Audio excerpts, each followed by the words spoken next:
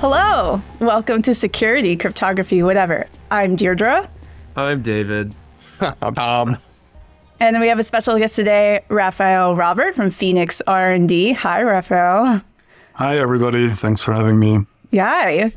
He's our special guest today because we're talking about MLS messaging layer security, a new almost done IETF standard. That's right. Like what's what is the status? So the status is uh, we are almost done because MLS has received a positive review from the ISG, which is the, the steering group at IETF. So that means Nice. the protocol is essentially done. Yes. What's left is what's called the RFC editor phase. Um, so during that time, essentially some uh, polishing happens, some wordsmithing. I think they have a style guide, and that takes it can take a few weeks, it can take a few months. I think the, the current guesstimate from the uh, the chairs of the working group was like a couple of months from now. But uh, it also means that the, the authors of uh, of the document cannot really change anything at this point. Nothing fundamental anymore.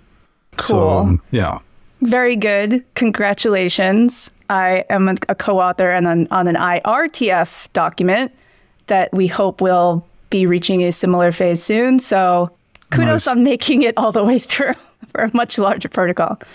Before we get into the weeds too much, can you tell us a little bit more about the protocol messaging layer security? MLS sounds similar to TLS, but it's about a messaging protocol.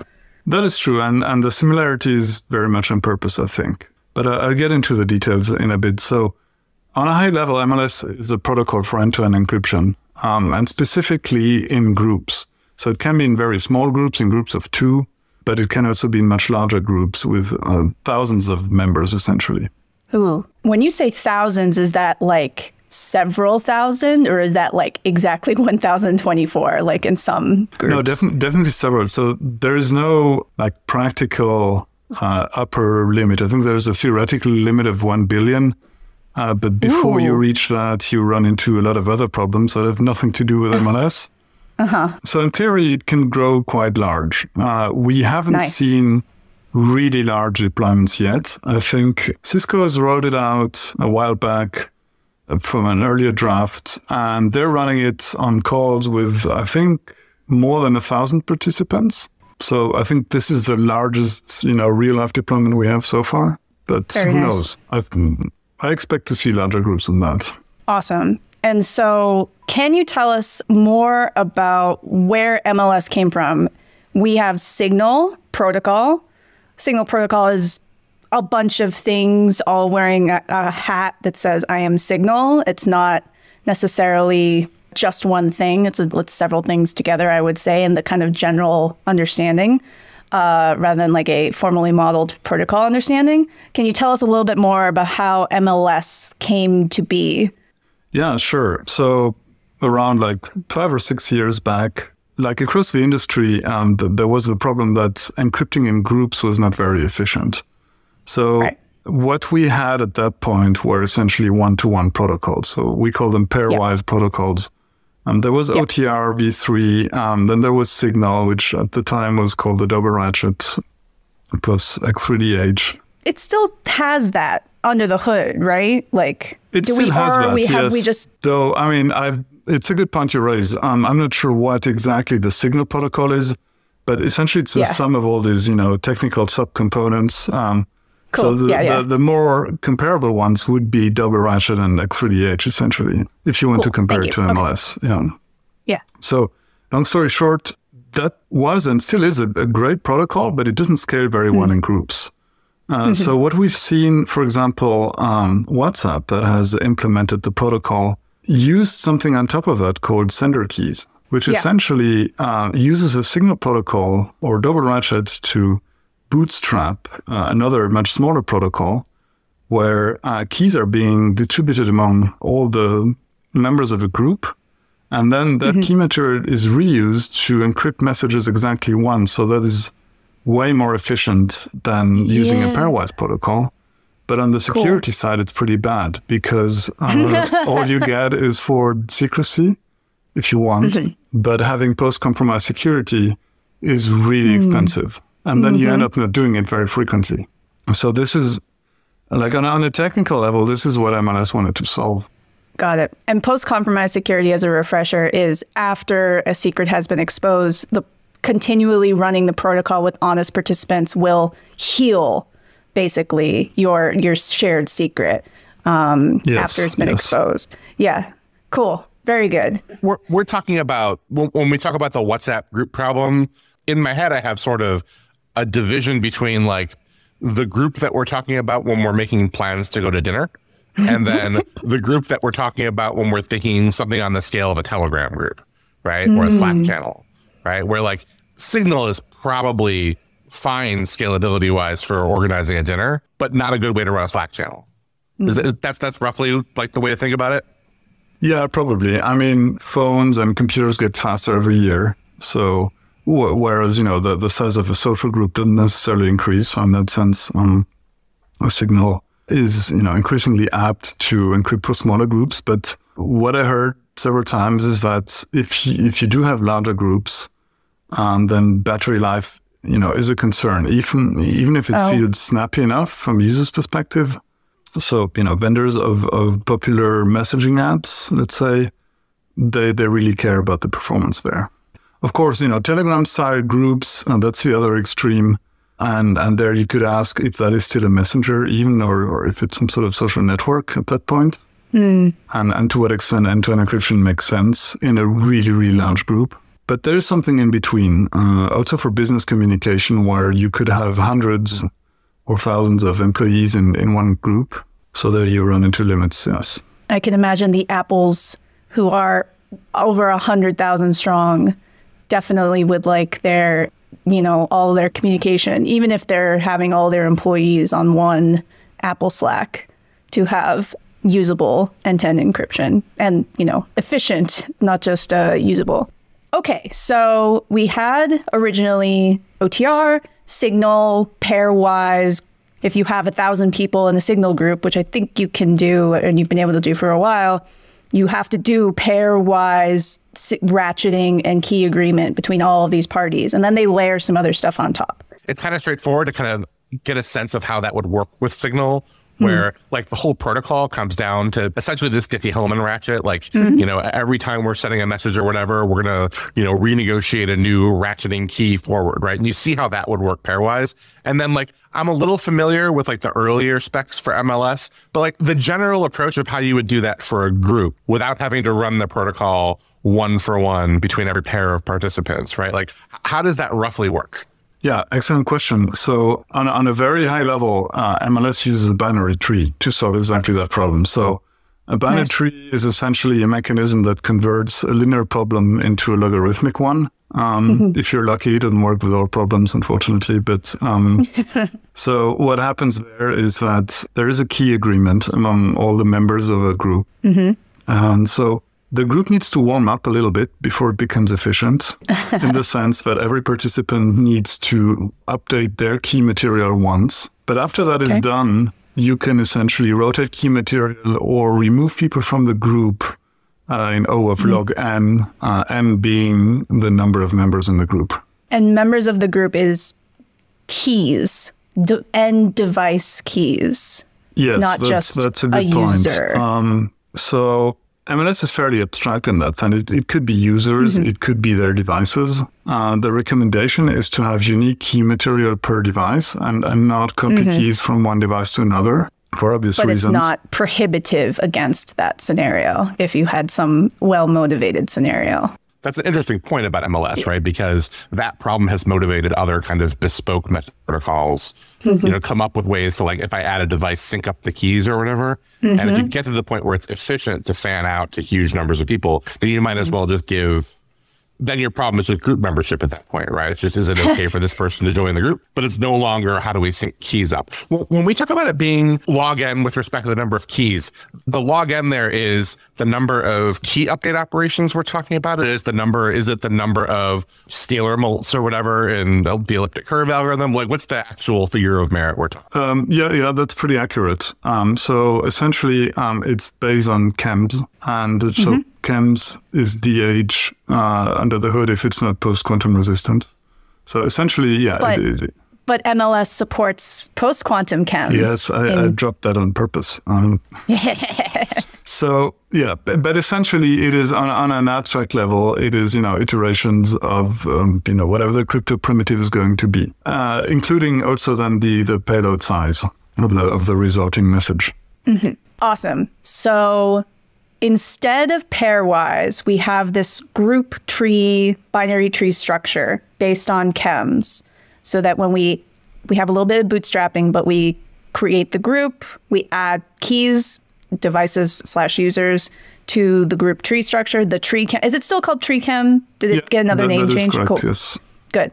And then every add key rotation or update is it update for any one member or any one key or is it just like a global update or is there a difference so members can update their key material, and what okay. that means is, um, so they they sample some some random new encryption keys, um, mm-hmm. and that gives them post compromise security. So the um, nice. the threat model here is that we have a notion of a session in a way, uh, and okay. this session is super long, meaning mm-hmm. it, it starts when you enter the group and it ends when you leave the group, and that can be years essentially. So the underlying assumption is that during that time, your device could get compromised one way or mm-hmm. another. And post compromise security means that you can actually get out of, the, of that situation if the compromise is not long term. So you okay. should actually regularly update your key material, uh, at which point you send what's called a commit message in the MLS mm-hmm. jargon to everybody. And that message is so has a number of KEMs in it, uh, log n, and that's but it's still one message and and that is being distributed to everybody so everybody receives the same message and they pick okay. whatever KEM is appropriate for them so in if you picture a binary tree all the the members are at the leaves and then these KEMs essentially they're on the path of the updating member all the way to mm-hmm. the root and and the length of that path is log n Excellent. And then, of course, you have your delete operation. So you can leave and delete yourself or the admin, air quotes, of the group or any.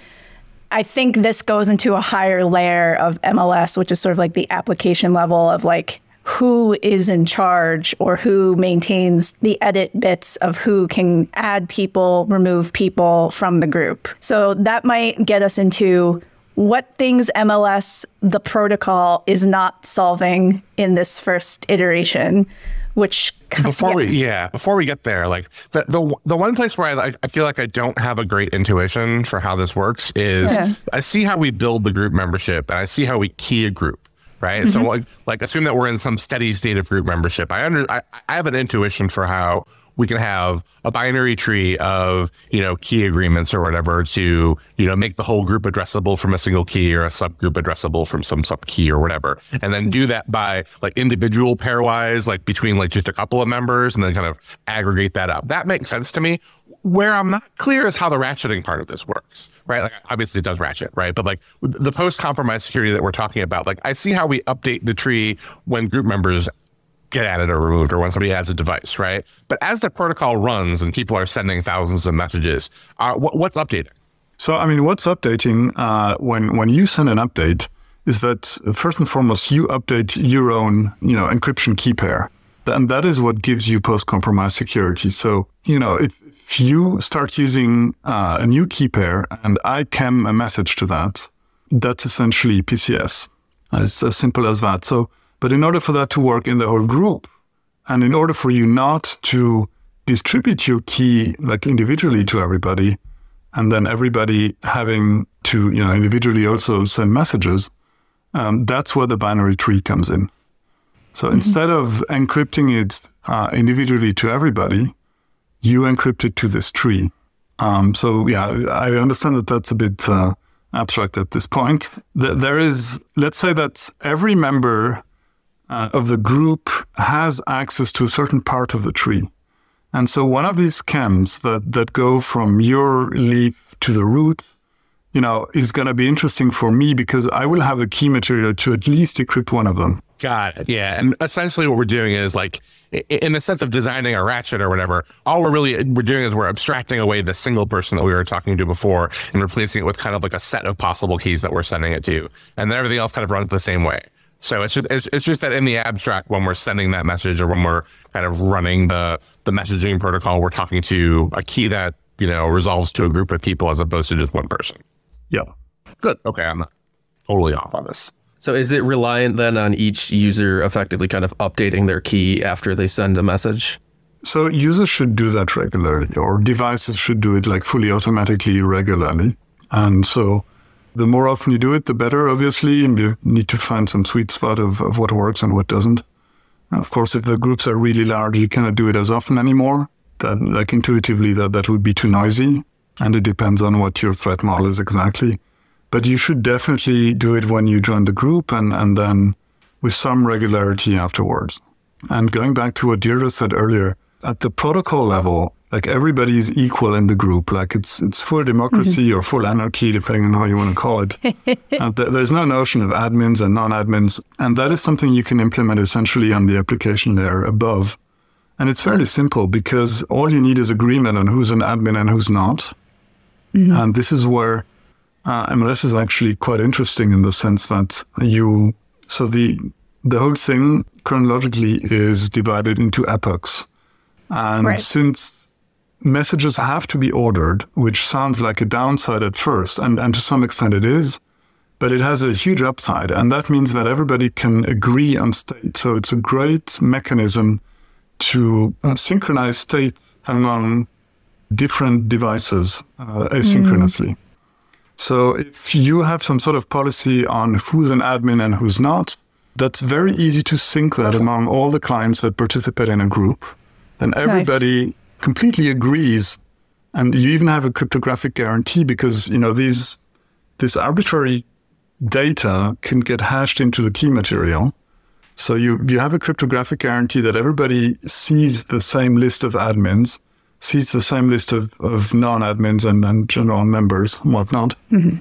And then it becomes very easy because if a non-admin tries to add someone to a group, you just drop that message, just reject it. If the server doesn't do that for you, you can still do that at the client level.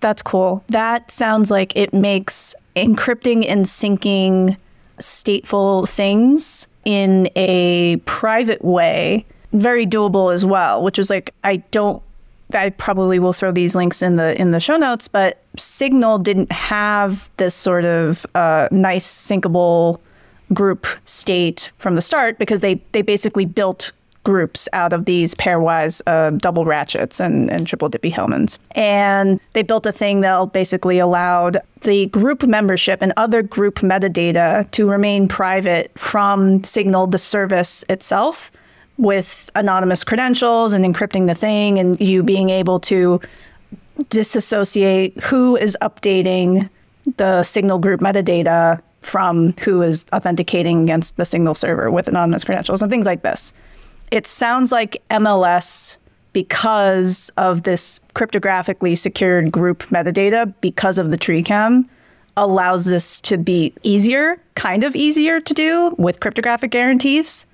But that's, to be clear, that's not in MLS. It's a thing that MLS may enable service providers to do in a nice way. But that that's super interesting. It's like a thing I didn't realize that it should have occurred to me, right? But like on the spectrum of ways to, so first of all, like in a group, in a secure group messaging system, group membership is key distribution, right? Like it's mm-hmm. it's the core security decision that you're making for the protocol. Is who's going to be allowed to. Once you're allowed in the group, you can read messages to the group. You have mm-hmm. the keys for the group, right? So like, there's a spectrum of ways to approach that. Where like the original signal way of doing it was essentially that if you wanted to create a group, you would come up with an unguessable secret, just like a 128-bit number or something like that.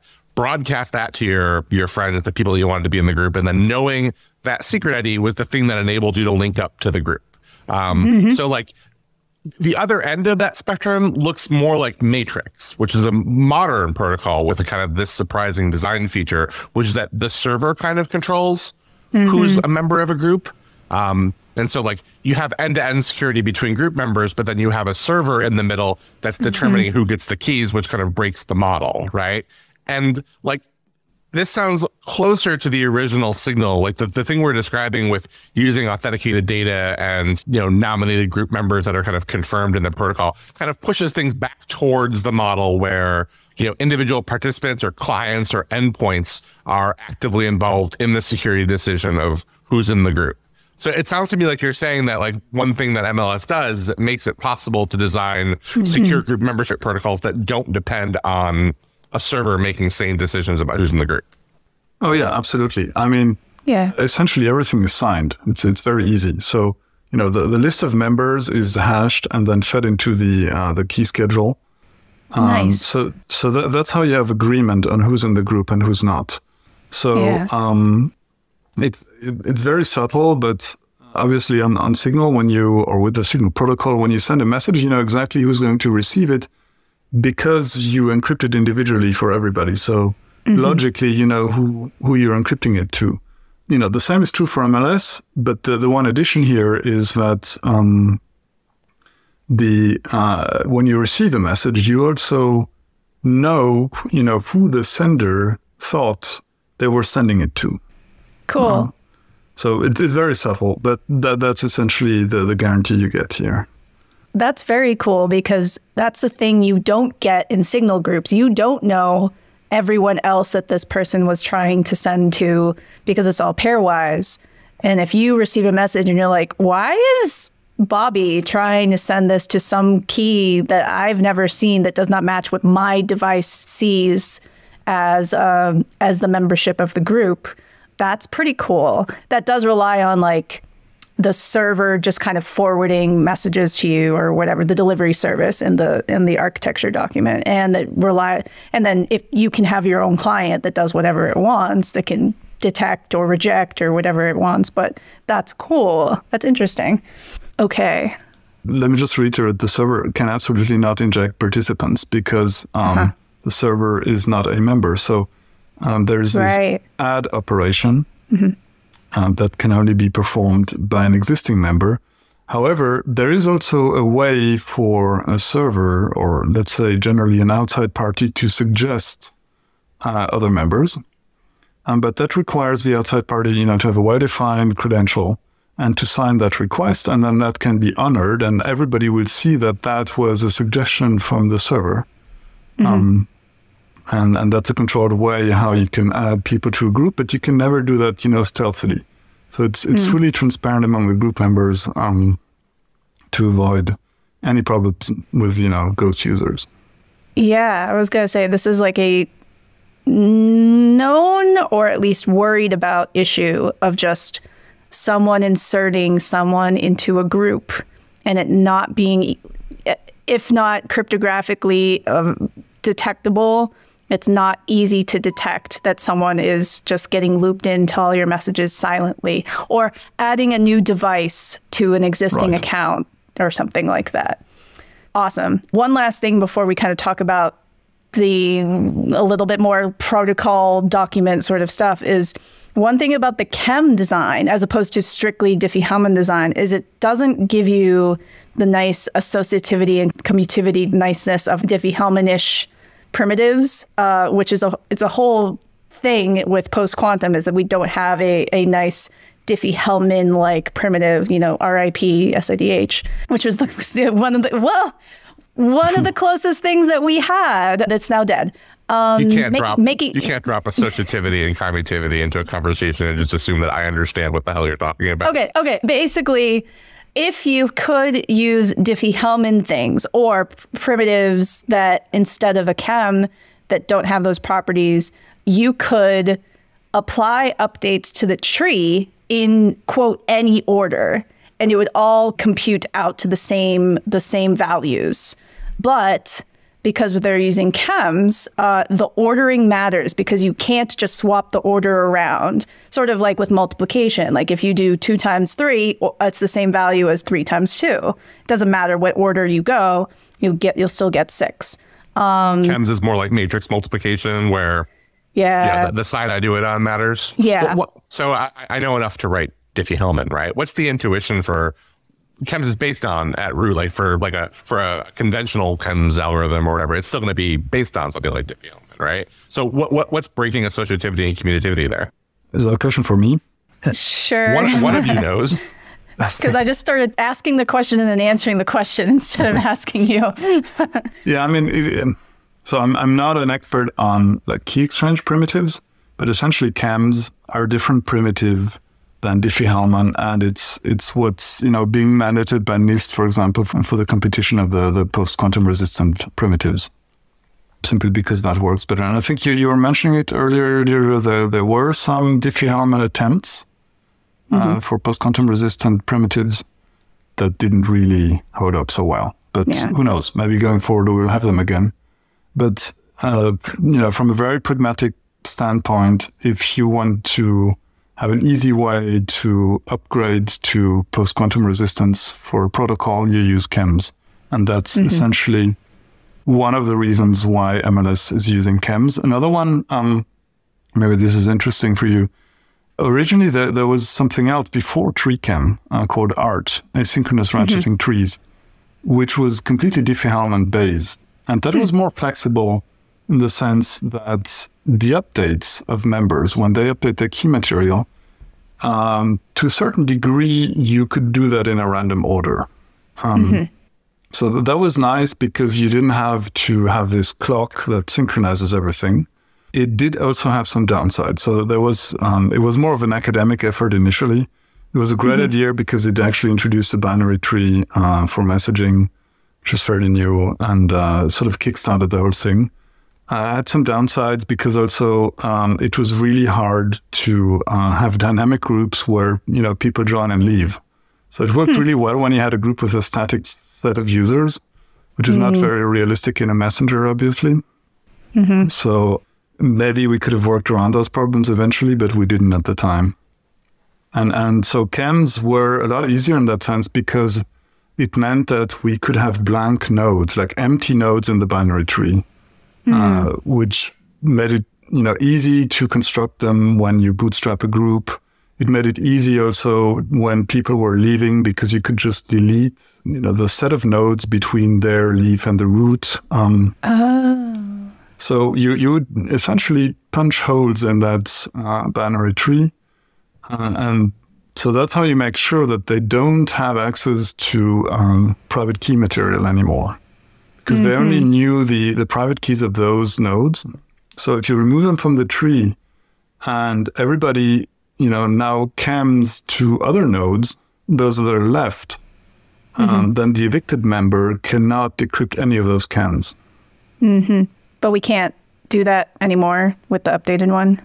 No, no, that that's what we can do with TreeKEM essentially. Oh, great. Because okay, because the tree does not need you know uh, to have uh, full nodes everywhere.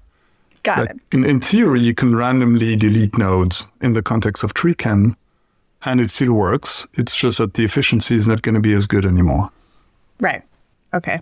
This does, as you said, basically mean you have to maintain a little bit more state on all of your ends. You have to maintain a bit of a clock. You have to maintain, uh, you have to rely on ordering from your server or your delivery service. That sounds a little bit more annoying, but the the being able to delete whole swaths of the of the tree because of TreeKEM uh, does sound really nice. So yeah, that's exactly it. So the, the the downside, if you will, is that the delivery service is essentially a clock and orders messages. Um, And so there are two ways of doing that. The um, more intuitive one is that that happens in real time. So whenever Okay. you try and send a commit message, the server is going to check, you know, what epoch is it? Is is your commit message? Does it have the right epoch number? And if you're if somebody sent a message just before, then yours is going to get rejected, and then you have to try again. Um, so it's really just a counter that that runs on the server. It's not in terms of state keeping, it's super easy, but it, it does require having this real time ordering mechanism. The alternative would be to not do it in real time, like in completely asynchronous systems where, you know, not even the server is guaranteed to be online. You could um, you could do it differently. You could actually fork the groups uh, and then reconcile them later. So if you have some mechanism to determine the order after the fact, uh, you can still do that. But what you need to do on the clients is essentially four groups. So you have more state. That's fascinating. Has anyone written about? Is that in the architecture document? I'm. Yes. I. It's Cool. I'm going to go read more but read it has more a very about that. fancy name. So that there is the uh, the strongly consistent delivery service, I believe it's called, and the eventually consistent one.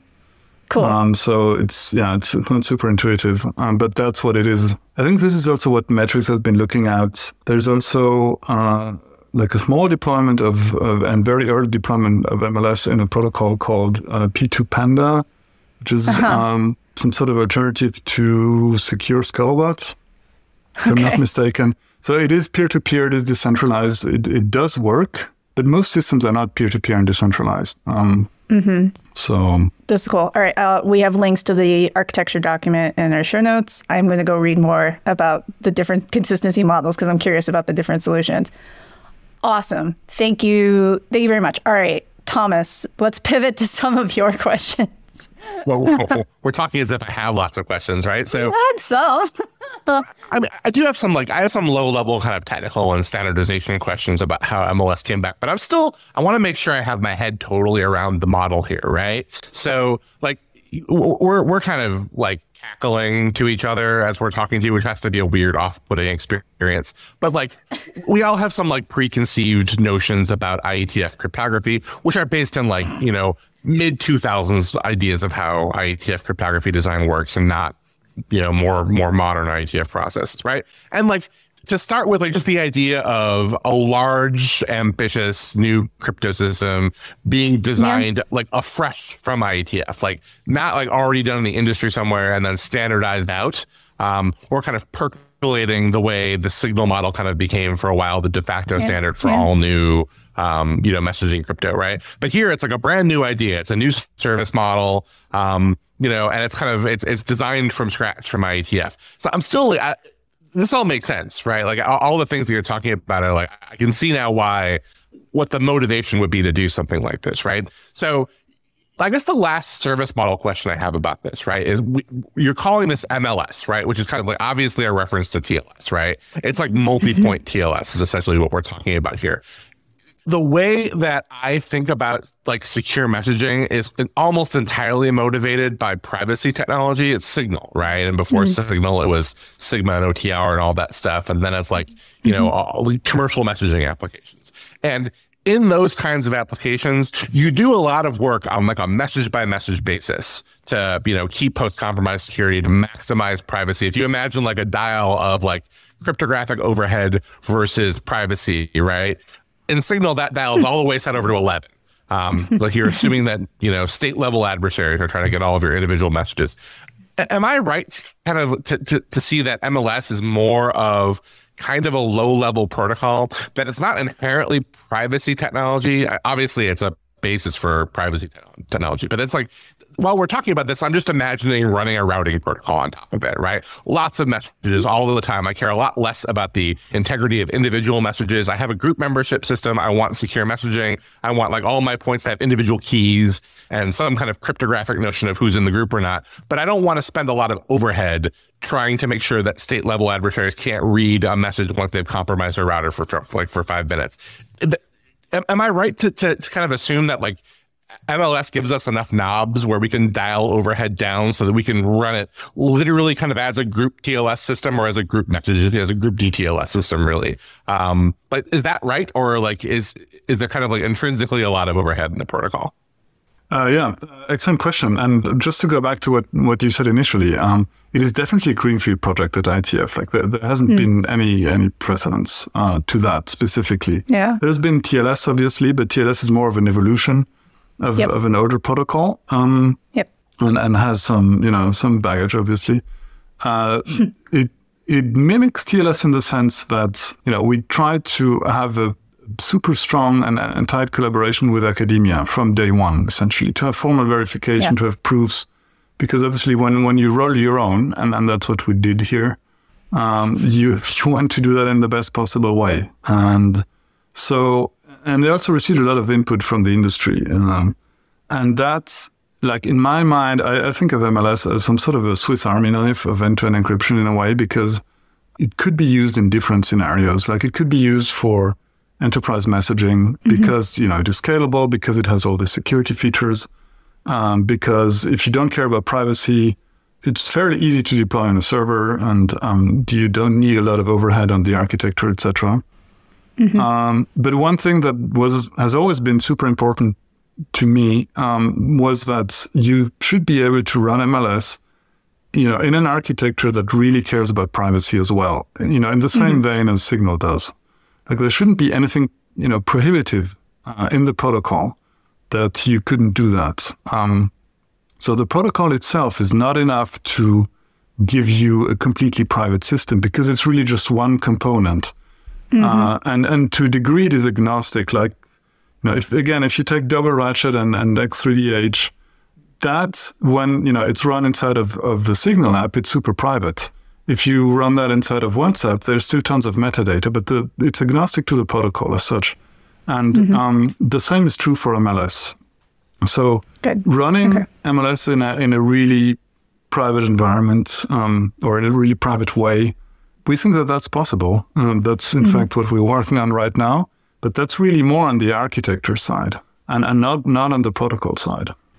d- ties into you basically exactly what you said. You have WhatsApp, which has more as a full service, as a full end to end service of how it's a messaging application. It has more metadata about its membership and its groups than, say, Signal, which looks very, very similar, but it has added other things to its full end to end service such as the group membership privacy from the server and anyone else that's looking at what's happening and other privacy features that you know if you put signal and whatsapp side by side you're like oh they both use signal protocol. They both use double ratchet and you know triple diffie hellman protocol but it's the next layer up at more of the application level that more privacy parts. And you're basically saying that mls the kind of swap out for double ratchet and triple diffie hellman plays a similar role. You but it doesn't it's trying to purposely be efficient and enable the more privacy oriented applications like a signal in general which that sounds really great. I think you mentioned earlier that cisco is using mls are they using it for a like messaging application or are they using it for calling So I'm not affiliated with Cisco in any way. Okay, I think okay. they're using it for conference calling. Oh, that's interesting. So they're using MLS to manage their keying material for a large end-to-end encrypted conference call. Yeah, I think that- they also use it for large WebEx rooms, which is their like quasi Slack competitor. But I'm not sure. okay. that that Okay, might well. be the case. Well, I should. Uh, I'll stop asking you about somebody somebody else's product. But okay, that's interesting. So that sounds like they are using MLS to do group key agreement, but they're not using it for Signal or Slack or WhatsApp. They're using it. Well, ignore what David just said.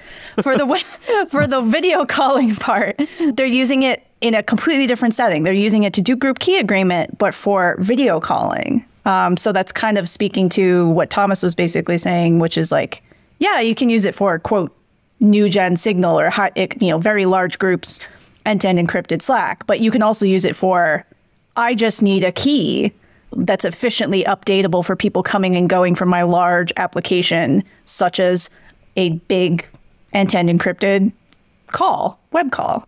Yeah, you don't want pairwise keys for a video call. That's not going to be fun for anybody. Yeah. Yeah, that's true. I mean, MLS was designed for asynchronous communication uh, to start Mm-hmm. with. But Um, you do have this problem for conference calling that you do have many participants and you want end to end Mm-hmm. encryption. And so at this point, MLS is the only protocol that can really give you that more or less. Uh, you know, so that's why MLS is being used in that context. But it wasn't like specifically tuned for real time communication. So why did MLS start in the IETF though? Like who started that?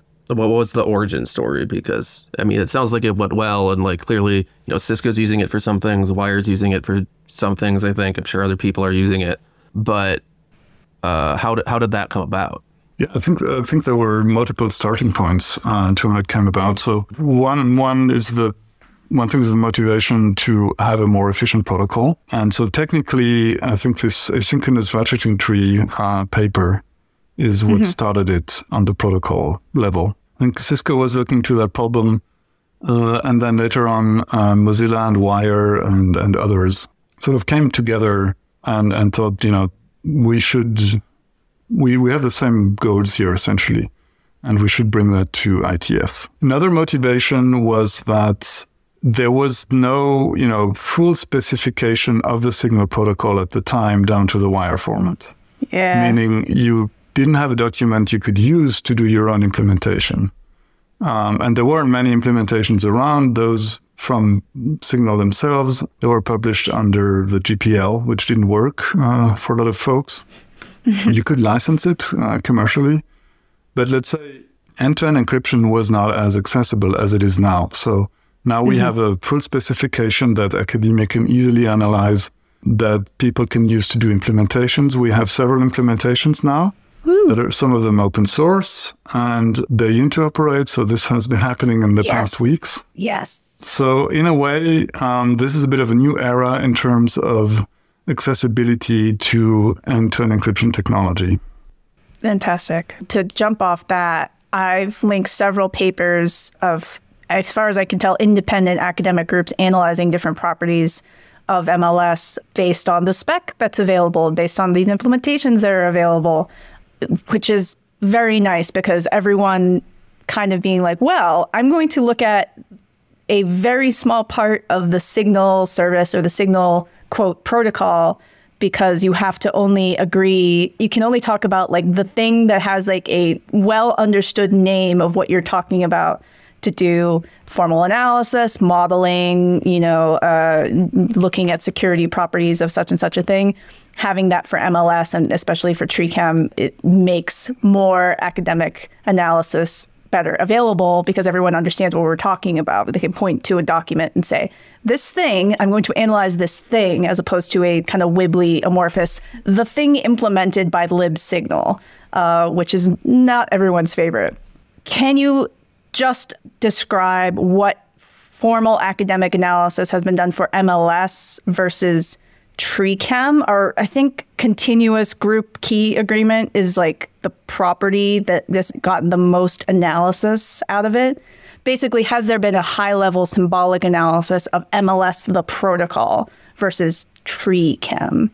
So, other aspects besides TreeKEM have been looked at. Um, Good. Okay. But this is also you know where you reach the limits of what you can do today.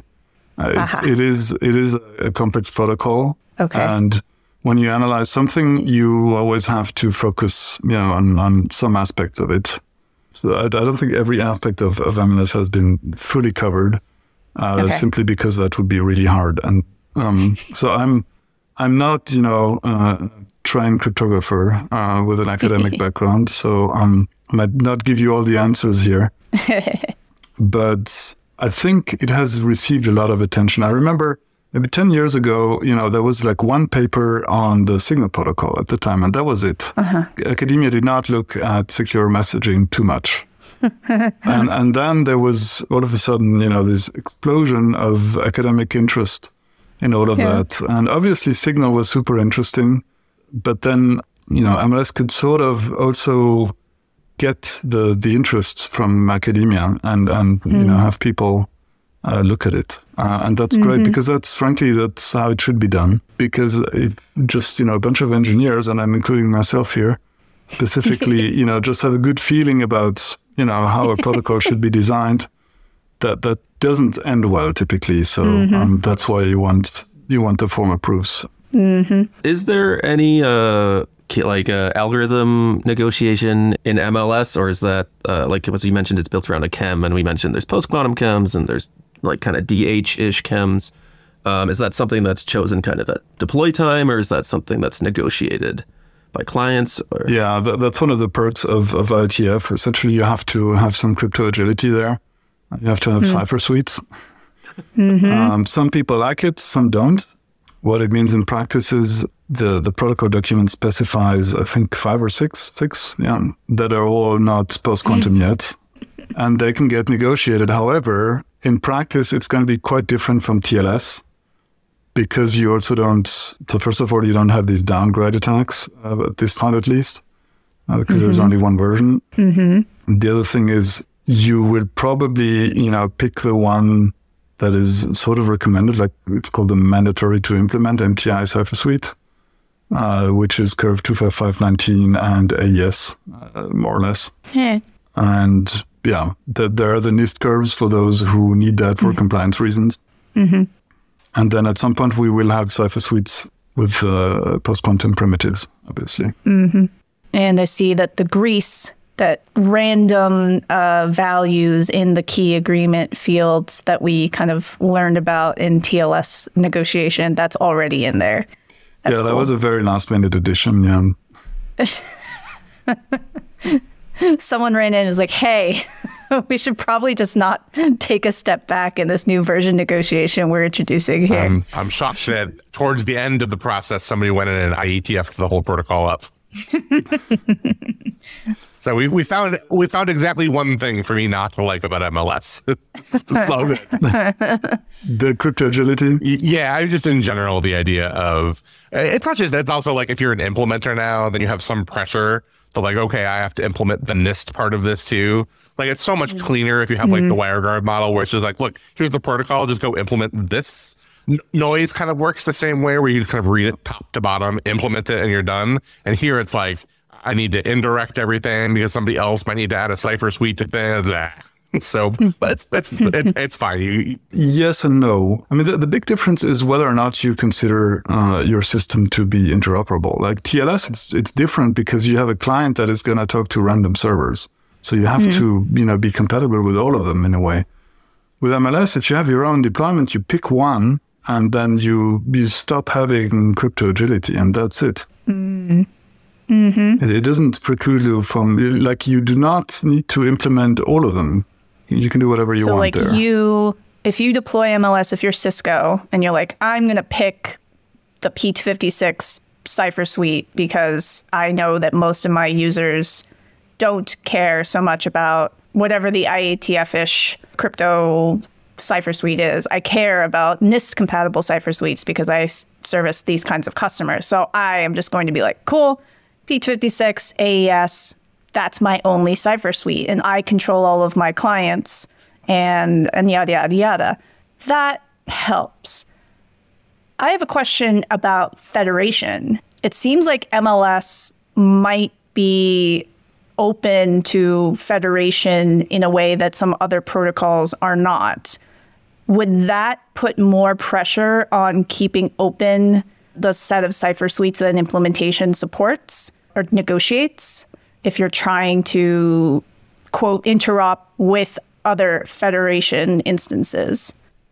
Yeah, good question. And I think it's very much an open question. So, first of all, Okay. regarding federation, so there were two things during the design process where MLS you know, should not solve the problem, but also not be prohibitive in any way. Mm-hmm. And that is privacy and federation. So, it should be able you know, to work in an environment that is, you know, similar to Signal, but also in an environment that is similar to Matrix in terms of federation. So this is again, this is a very much an open question. To some extent, uh, interoperability would be a lot easier if there was just one cipher suite because um, there is no negotiation.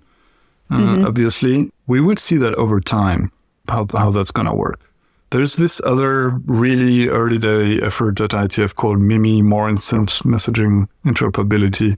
So this is more about federation and agreeing and stuff, etc.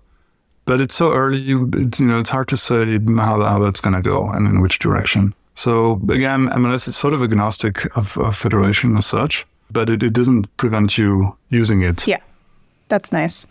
Is there interest in using MLS as like a path forward? Because with the new, I, I think these passed the EU regulations about like all these messaging oh. platforms have to interop. Not sure what the status of that is, but Yeah, uh, I'm I'm not sure anyone knows what the real status of that is, but um, that that's essentially what sort of motivated uh, Mimi, this new working group, to you know look for potential technological solutions to that. But the whole effort is political, obviously. So we we have to see. Obviously, MLS is some sort of a candidate in that context. You know that uh, vendors could potentially agree on. But we still have to deploy it first. Yeah, so the, I mean, it took a while to to get to this stage. Like it took five years all in all. uh, which is a really long time, obviously. But that's also because it's never been done before at IETF. And now I think we will see some deployments, and and then we will gather some experience and, and see how it works. Yeah. It's kind of hard to yeah, predict every aspect of it. Still faster than uh, than uh, TLS 1.3 was, so that you uh, you beat them. Well, there were far fewer stakeholders as well, and that, that was the advantage. And and there was not a lot of disagreement in the working group. It was really nice. Um, Nice. it- I'm re- really not an IETF expert, so this was my first rodeo. Really, from what I hear in other groups, you know, there's much more drama and disagreement. So, in that sense, it, it was a pretty smooth ride. Nice. I'm happy for you that you had a nice IETF experience. I'm not jealous at all. no, I, It's I'm more about what you're not saying right now. Yeah. Yeah, I, I've had a fine IETF, IRTF experience. There's just a lot of bureaucracy. You've reached almost barely grazing your fingers on the finish line of TLS, of sorry, MLS 1.0. Is this 1.0? Are you versioning it? I mean, um, it has to be versioned. That's a good question. Whether we can actually call it 1.0, I, I think we just call it MLS at this point. but if there's going to be another version, then for sure uh, it's going to be versioned. Were there things that got bounced from the scope for this that like do you have a do you have a thought about like what a next version would be? It'd be it'd be great if the answer was no. Right? But like do you think there will be a 2.0 like in the near future? Well, I don't know about the near future, but I mean, th- there will be evolution because messaging protocols, you know, evolve. We had mm-hmm. OTR, which was fantastic in a way because it solved, it was really modern, had modern properties that didn't exist before. But then mm. it didn't work on, on mobile phones. And then Signal came along, which took all these properties and actually made them work and has been mm. fantastic ever since. Uh, didn't scale well. This is, you know, where MLS fits in. And, and there's going to be other things. So yeah, things were bounced, of course. Um, there's a million things you can do. You know, you can try to be more efficient. You can have better PCS. But in a way, when, when you design these systems, it's a bit like having a balloon filled with water. So if you, you know, grab it on one hand and you squeeze it for a split second, you think you've made it shrink, but what you really did is you pushed the water somewhere else. so, you know, when you make it faster on one end, then you probably compromised on some security aspect. So, and, and it's, it's relatively rare that you have these leaps where you really just innovate without compromising uh, too much. But yeah, to answer your question, we could have done this in different ways. Uh, and, and over the past five years, many people uh, came up with a lot of different ideas on how it could have been done, etc. So all of these things would be candidates for future versions. But what we really need is some experience with this version, uh, see how it works. Because on an academic level, you know, you can be really creative and, and that's fantastic, but it actually needs to address uh, real problems. All right. Do we have anything else? I was just gonna say congratulations to yourself and everyone else that, that worked on MLS. I think I remember first hearing about this at uh at like RWC and I want to say 2019, maybe 2018, Yeah. When Richard Barnes gave a talk. So it's Yeah. been been quite the journey since then. Yes. Very, very big accomplishment. As you said, a, a greenfield, like complex protocol in the IETF first end-to-end secure messaging protocol that I'm aware of. I'm very excited that all the interoperable implementations are up and running, including OpenMLS, which is a Rust implementation um, that I have pushed some commits to of little ones.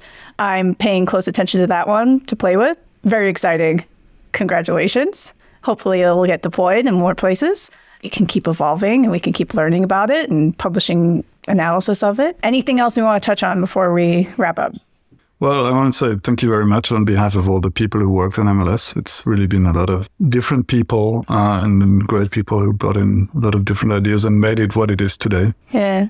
Raphael, thank you very much for coming on our show. Well, thank you for having me. Security, cryptography, whatever is a side project from Deirdre Connolly, Thomas Ptacek, and David Adrian. Our editor is Nettie Smith. You can find the podcast on Twitter at SCWPod and the hosts on Twitter at Durum Crustulum, at TQBF, and at David C. Adrian. You can buy merchandise at merch.securitycryptographywhatever.com. Thank you for listening.